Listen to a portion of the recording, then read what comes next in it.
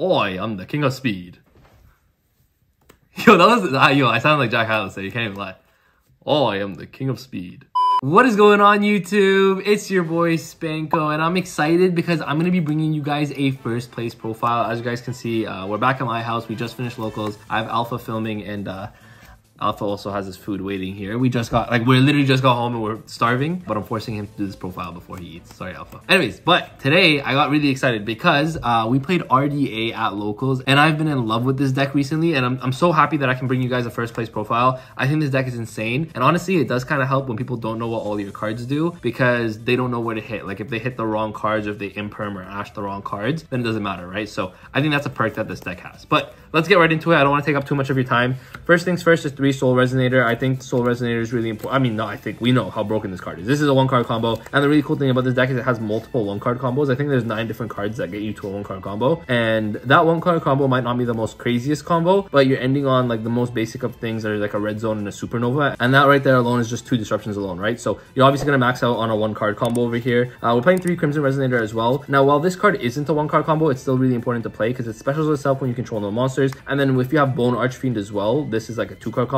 So you want to just max out on all the cards that essentially get your combo started, even if it's one card or two card. And then we're playing two Vision as well as two Synchron. These two, no matter which way you do the combo, you're going to be using these cards. And the reason you're playing two and two is because if you draw into one of them, you need one in deck for the combos to resolve anyway. And if you draw into them, it's not like they're bad to draw into per se, but uh, you always need one in deck. So that's why two and two is perfect. I, I wouldn't change these ratios up at all. And then I'm playing uh, three Bone Archfiend. This card's absolutely nuts. This, this, like, this card being able to special summon it from hand and then special summon from the graveyard as well for your follow-up plays is absolutely nuts. So uh, you have to be maxing on this. I'm actually really sad this didn't come as a super rare because it's I think it's a new card. It is a new card. And then that's just I don't know. That should be a super rare. OTS super rare next. But anyways, uh, Obsessive Oovloops. Absolutely insane card. I've never seen this card ever in my life before this deck came out, but then this card is nuts. It banishes cards from your graveyard, banishes cards from your field, so it sets up your disc pattern, which is really nice. And then on top of that, it's not a dark, and that's really important because a lot of people are on Bystials right now because of Tearlaments and Unchained, and it's an Earth, right? So it's one of those cards where you're only playing one, because if this gets set up in the graveyard, you, you know you're not losing it to a Bystial, right? So that's safe. So that's something that I think is really, really relevant. And then lastly, we're just playing the one Red Zone. A Red Zone, of course, is really powerful in terms of your, your end boards. You always want to end on this card. It's a pop. It summons back banished monsters. It's really, really good in a lot of different ways, right? So that's why the one red zone. And then lastly, for the red dragon cards or the red dragon archfiend slash resonator cards, we're playing three Gaia. Gaia is absolutely nuts. It in itself is a one card combo as well. So three Gaia is a one card combo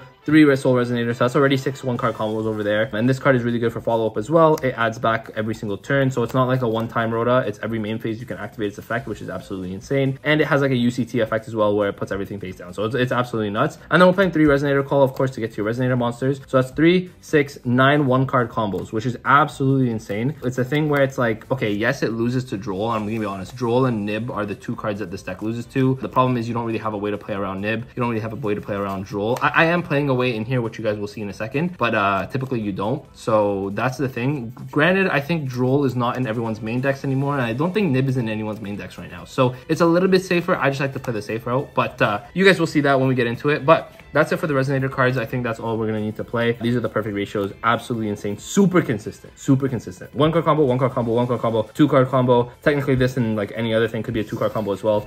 So uh, absolutely insane, super, super consistent. And for the consistency, we're also playing three Prosp as well as one Foolish. Foolish is really good because Foolish sends cards like your Oovloops if you needed to. It can send your Bone Archfiend. It can also send your Crimson Resonator. And these are three really important cards that, you know, you kind of want in the graveyard for a lot of your plays. So that's why I like playing the one Foolish. It's kind of like an extender for you. Prosperity, though, is something I kind of want to talk about because I think Prosperity is a card that I actually want to cut. And I'll explain what I want to cut it for later. But it's a card that I want to cut because, like I said, I showed you guys, this deck is so consistent as it is. I found myself every time I activated Pros, I was either going for three just to maybe see a card like a hand trap or a non-engine just for like follow up or on my opponent's turn so I could play. But it didn't actually help me get into engine at all today because I actually never needed it to, right? So it's something I want to cut and I'll talk about what I want to cut this for later at the end of the profile. But I still think it, it is a really powerful card, of course, right? And then uh, for non-engine, we're playing three Ash, three Imperm. I think these are just the most important hand traps right now. They're just the best hand traps, especially when you're going second. Imperm I use most of the time as a board breaker rather than as a hand trap. So it's like if my opponent activates a card or starts setting up their combo and I know Imperm's not enough, I'll just hold the Imperm. When it comes back to me, I'll start my turn by activating Imperm and this way trying to like use it as a board breaker more than anything. And I'm playing one Nib and one Droll, okay? So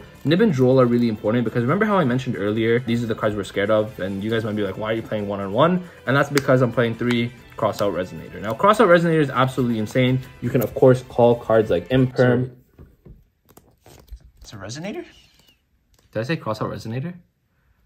Crossout Designator. Okay, close enough. Okay, but anyways, three crossout designator. Now, this card is obviously insane because you can call cards like Droll, Nib, so you don't lose to them. You can call Imperm Ash as well, which you don't lose to. You can call Prosperity, which is really nice. There's a lot of generic cards in here that you can call, so this is really good in that sense. But you especially just played it for these two because these are the two hand traps that I'm afraid of the most. I'm also playing one of this, of course, just generic, right? So uh, that's it for like the non-engine like hand trap stuff. And then the last three cards in my deck that I'm playing are three Triple Tactics Talent. I thought this card was insane. I think this card is insane into everything. I think it's good into Purrely. I think it's good into like all the meta decks. It's good in the rogue decks as well. So I thought tactics was really good. And this is exactly why I also didn't want to play prosperity. So let me let me get into why I don't play prosperity now, or I don't want to play prosperity anymore. I was actually ge like genuinely thinking. I know prosperity is a card that like digs you deeper into your deck in theory, but because I think this deck or I found this deck so consistent already, I'm actually thinking of playing three thrust here instead of three prosperity. And the reason I think three thrust is just better is because I can play three thrust, two tactics, and then instead of a third tactics, I can play like another board breaker, probably Harpy's Feather Duster because I found that I had no back row hate in the main deck, and so Harpies would be really nice. Playing Thrust is really good, of course, for these reasons, but you can also Thrust for cards like Imperm,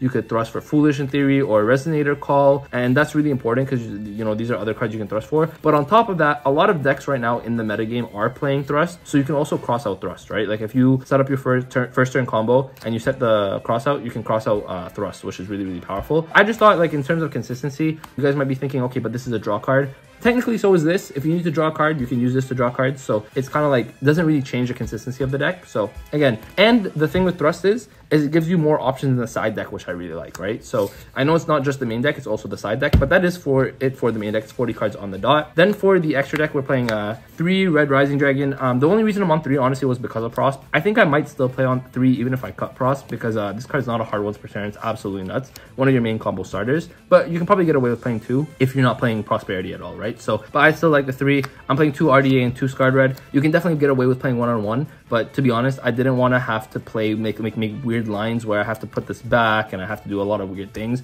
Playing two and two just made it really comfortable and just felt really safe, right? So two and two and Prosp Fodder if you need it to be Frost Fodder. Two Abyss as well. This card's absolutely insane. One of your main combo pieces. Uh, Supernova Dragon, again, this is what you end on with your one card combo. So with your one card combo, you're pretty much ending on Supernova plus Red Zone all the time. And this is really broken because you can activate your Supernova, you banish it, banish all cards your opponent controls, you activate your Red Zone, you summon back the Supernova. Supernova is not a hard once per turn, so you can do it again. So banishing your every card your opponent controls twice is absolutely insane.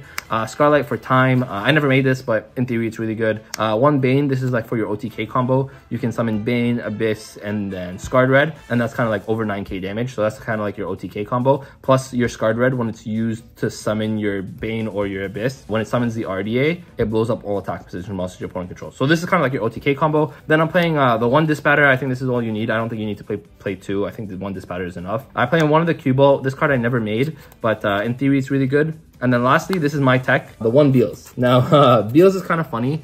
It's kind of like a dark dragon that I kind of thought I don't like playing Void Ogre. Okay, so the reason I played Beelze was because I don't like playing Void Ogre. It didn't make sense to me. There's so many cards in this deck where you can't actually get rid of your hand. So Void Ogre didn't make sense to me. And Beelze is kind of like a pseudo boss monster. It can't be destroyed by battle or card effect. And then it gains attack as well. I mean, that gain attack effect never came up. I'm gonna be honest, I actually never made it. But in theory, it can be good. Um, another card, shout out to my boy Alpha, who's uh, the cameraman today. But shout out to my boy Alpha. He uh, gave me an idea for Dark End Dragon. And Dark End Dragon is really powerful. I'm thinking you can cut either one of these for Dark End Dragon. It's just uh, removal, right, for you, which is really nice. So I just wanted to give you guys that option as well, right? But uh, other than that, like these are the most important cards. You have two flex spots here initially, right? So, or essentially. But that's it for the extra deck. Wouldn't change it up other than like the things that I mentioned. And then lastly for the side deck, I think my side deck was like perfect. So I played uh, three Druiswurm and one Magnamhut. Uh, this is really good into the Tearlaments matchup. Tearlaments, funny enough, is becoming relevant again. It's really good into Unchained as well. So I really like these. You can play DD Crow instead because I guess DD Crow is decent into Purrely, but uh, I, I, really like the Bystials. Getting the extra bodies on board is really good just to push for more damage. Um, and then Druiswurm is removal as well. I'm playing three Kaijus because something that I learned through my boy Alpha was that this deck kind of struggles beating uh, boss monsters or tower-like monsters. So uh, this kind of just auto outs that, right? If it's Purrely, if it's Dragon Link, if it's Chaos Angel, whatever it is, like this card just outs it, and I just like having that out, right? So the three Kaijus, again, I wouldn't be playing this without uh, Alpha losing to boss monsters. So yeah, shout out Alpha because now I'm playing these. And then uh, I'm playing two Droll. Of course, we're playing one in the main deck, but I actually decided to play two more. The reason for that is because against Mana and against a lot of rogue decks, this card is absolutely nuts. So I just decided in the other two to make it three um, for those kind of matchups. And then I'm playing uh, one Harpies, two Cosmic, as well as two Lightning Storm. This is mostly for back row. Uh, you guys saw that in the main deck, there's no back row removal. I actually never sided these in because uh, I never played against Labyrinth or anything today, which is kind of nice. But in general, like these cards are, are really powerful into a lot of back row matchups, and I think you need them. And this is another reason why I think Thrust makes so much sense, because you can Thrust for cards like Lightning Storm, right? Like against, the, like when you post side, if you're going second, you activate a resonator call. They go Ash or something like that, just something basic. You can go Thrust, activate or search Lightning Storm, activate Lightning Storm, boom, right? So I think that's why I think Thrust is really good. You can search Har Harpy's Feather Duster, like I said as well. So there's just so many options for you, and that's why I think Thrust in the main deck just makes sense. And then lastly, a card that I'm playing for Crossout, but you can also thrust into this, funny enough, is D-Barrier. Now D-Barrier is really good because obviously against the Mannadium matchup, against a lot of matchups like D-Barrier, you can just flip this. Against Branded, this is really, really good. And then obviously you lose to it because you're playing all synchros. So when you are going second, uh, you side this in with your cross out. So if your opponent decides to flip this, you can cross out barrier and then you're safe, right? So that's why I'm playing the one barrier. But again, it's another card that you can thrust because if you are going first, you can, uh, you know, you activate a card, you thrust into this. If they if they start to hand trap you, you thrust into this, and then now you just set up. Uh, literally, your opponent can't play. Uh, but that's it.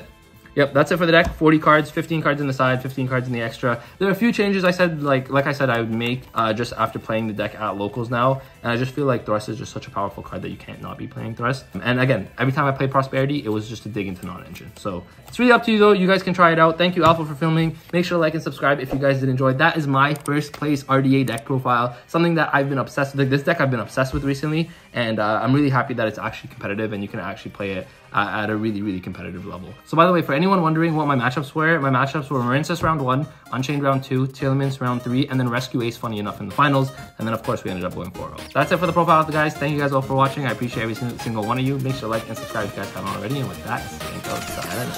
Peace.